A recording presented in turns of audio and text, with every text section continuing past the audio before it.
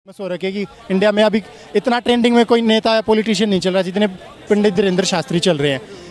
सबसे पहला मेरा सिंपल क्वेश्चन आपसे ये है, आप क्या पंडित धीरेन्द्र शास्त्री के बारे में क्या ओपिनियन रखते हैं? देखिए, सबसे पहले उनकी तुलना किसी नेता, किसी भी नेता से करनी ही गलत है।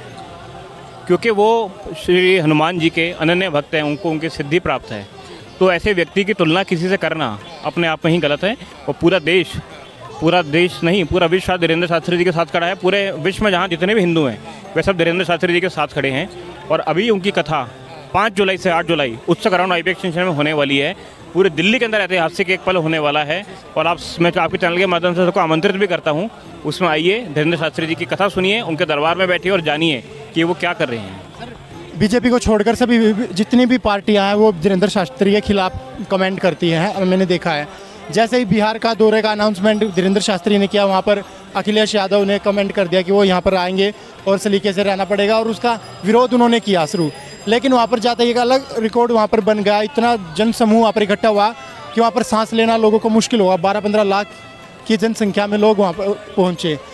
आप कुछ लोगों का ये भी कहना कि पंडित धीरेन्द्र शास्त्री अंधविश्वास फैलाने का काम करते हैं। इस पर क्या? उनका दरबार खुला है। मैं आपको बता रहा हूँ, पाँच जुलाई से आठ जुलाई तक उनकी कथा होनी है। आप आइए और उनसे जो सवाल कर रहे हैं करिए। तो अगर आपको, आपके सवाल का जवाब मिलता है, आपको खुद बात लगेगी वो कितने सच्चे हैं, कितने झूठे हैं। तो देखिए, जब क्या हुआ था, जब हनुमान जी लंका दहन करने गए थे तो वहाँ पे रावण की सेना ने उनको रोका था और हुआ क्या था, लंका दहन होकर आई थी। तो इसी तरह जितने भी ये लोग विरोध कर रहे हैं तो विपक्ष अपनी ही लंका दहन करा रहे हैं इनसे। इनका कुछ रोल नहीं है। हनुमान जी तो कहा था, भैया सीता मैया को छोड़ दो। रावण से बात करने गए थे कोऑर्डिनेशन करने गए थे। अब उन्होंने फिर कहा नहीं तो फिर भैया फिर तो लंका लगानी थी लगानी थी। अब कोई खुद ही अगर आ रहा है तो उसका जवाब तो देना पड़ेगा ना। सर पंडित धीरेन्द्र शास्त्री जिस तरह से घर वापसी करवा रहे हैं मुस्लिमों को हिंदू परिवर धर्म परिवर्तन करवा रहे हैं क्या यह है नफरत फैलाने का काम? नहीं कोई नफरत फैलाने का काम नहीं है क्योंकि जो सत्य है भारत के जो सुन्नी मुसलमान हैं भारत के जो सुन्नी मुसलमान हैं वो कन्वर्टेड हैं।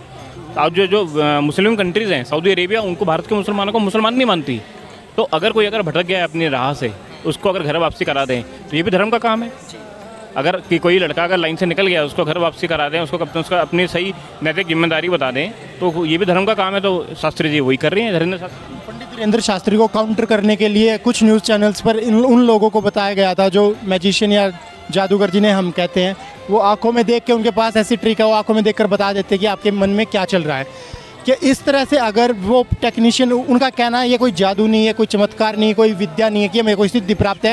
ये एक टेक्निक है। अगर वही टेक्निक पंडित धीरेन्द्र शास्त्री यूज़ कर रहे हैं तो उनमें फ़र्क क्या है? देखिए ये कोई टेक्निक नहीं है ये सिद्धि है जो खुद जो वो मैजिशियंस बोल रहे हैं वो तो कह रहे हैं कि एक टेक्निक है एक कला है एक आर्ट है। ये कौन कह रहा है? आपने न्यूज़ चैनल्स पे देखा होगा जो काउंटर करना अगर वो टेक्निक है तो उन्होंने क्यों नहीं इस्तेमाल करी? अगर वो टेक्निक है, उन्होंने क्यों नहीं सिद्धि को टेक्निक से कंपेयर करना सबसे ज़्यादा गलत है? एक सिद्धि है, हनुमान जी की सिद्धि है, वर्षों की तपस्या है। तो वर्षों तक आरोप लगाने वाले वर्षों की तपस्या को नहीं समझ सकते। तो उसके लिए हनुमान जी को जानना पड़ेगा, हनुमान चालीसा पढ़ना पड़ेगा।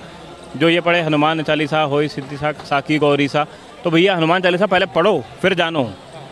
तब आप मानोगे कि क्या सिद्धि है, क्या नहीं। बहुत बहुत